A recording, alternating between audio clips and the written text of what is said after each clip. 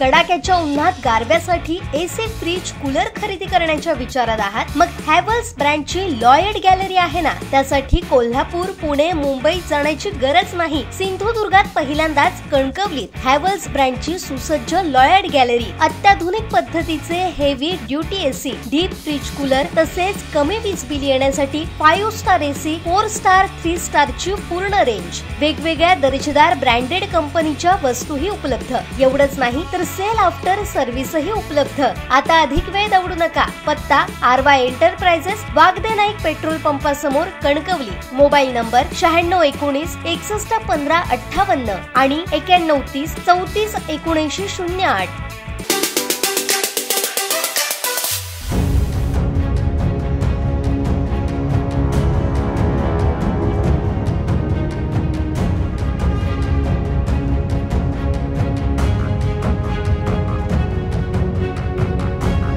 देशभरात लोकसभा निवडणुकीचा माहोल सुरू झालेला आहे आणि व रत्नागिरी सिंधुदुर्ग लोकसभा निवडणुकीची ही रणधुमाळी सुरू झाली आहे. बारा एप्रिलपासून उमेदवारी अर्ज दाखल करण्याला सुरुवात झालेली आहे. आपण आता आहोत हे रत्नागिरी जिल्हाधिकारी कार्यालयासमोर ज्या ठिकाणी रत्नागिरी व सिंधुदुर्ग लोकसभेचे उमेदवारी अर्ज दाखल केले जाणार आहेत.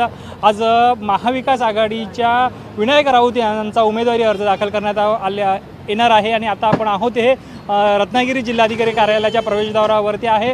आणि आता थोड्याच वेळात अगदीच विनायक राऊत यांचा उमेदवारी अर्ज दाखल होईल. तत्पूर्वी इथली जी पोलीस यंत्रणा आहे पोलीस बंदोबस्त आहे तो कशा पद्धतीने ठेवण्यात आलेला आहे ते आपण पाहू शकता की या मेन प- प्रवेशद्वारावरती हे पोलीस तैनात करण्यात आलेले आहेत. पोलीस निरीक्षकांसह जी पोलीस इतर कर्मचारी आहेत हे या प्रवेशद्वारावरती तैनात तैनात करण्यात आलेले प्रत्येक येणाऱ्या या जिल्हाधिकारी कार्यालयात येणाऱ्या प्रत्येक व्यक्तीवरती लक्ष केंद्रित या पोलीस अधिकाऱ्यांचं असणार आहे. प्रत्येकाची तपासणी ही या पोलीस कर्मचाऱ्यांकडून करण्यात येईल. आहे प्रत्येकाची ओळखपत्र तपासणी करूनच आतमध्ये पाठवण्यात येत आहे.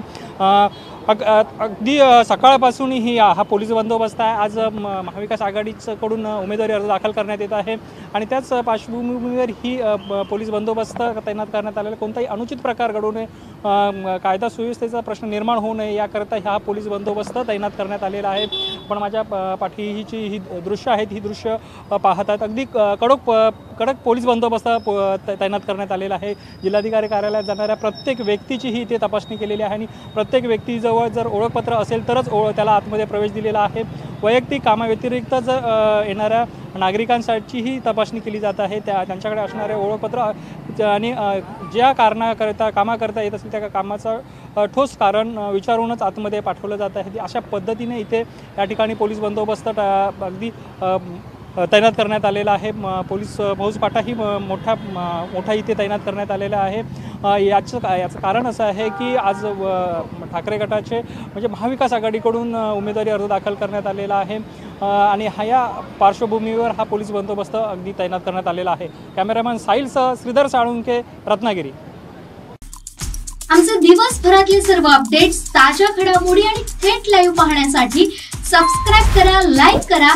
कोकणचं नंबर वन महा चॅनल कोकण सात लाईनचं युट्यूब चॅनल